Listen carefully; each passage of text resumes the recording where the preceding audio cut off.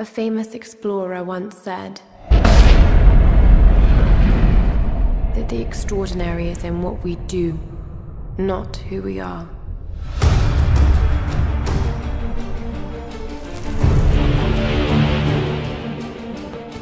I'd finally set out to make my mark. To find adventure. But instead,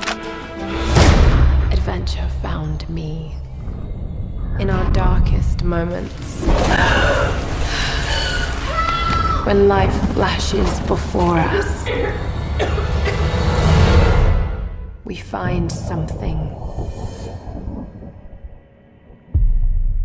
Something that keeps us going.